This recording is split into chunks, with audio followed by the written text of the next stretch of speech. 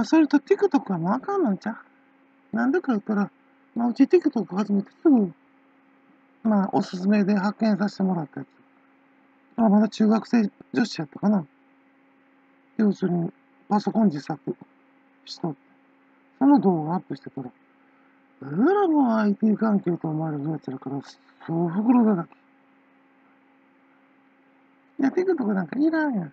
IT 関係者ってハードウェアなかったら何もできへんねんから。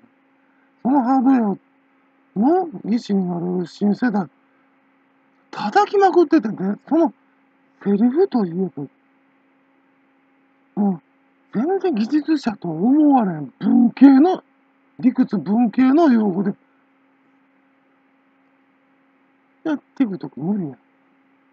な。TikTok はあかんと思う。あんな無理に決まってるやん。な、ハードウェアの新世代も喜ばれへん。TikTok のに参加してる IT 関連者って、文系やん、そんな。シャーなと思って。な、んから TikTok が滅亡すんねん、しゃあないやん。